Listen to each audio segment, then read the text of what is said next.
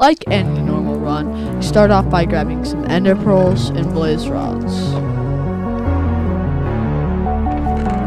These two together create Eyes of Ender, which you can throw to find the stronghold, then use to make the portal and hop into the end. Once in the end, proceed to kill the Ender Dragon. I just use slash kill at E because it's easier. Grab yourself four end crystals and place them around the portal like this.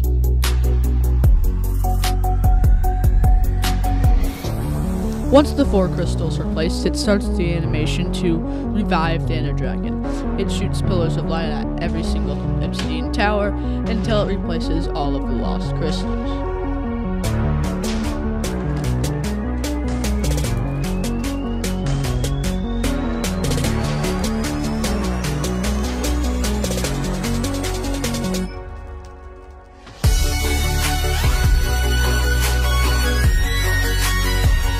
There you go, Ender Dragon revived. Good as normal.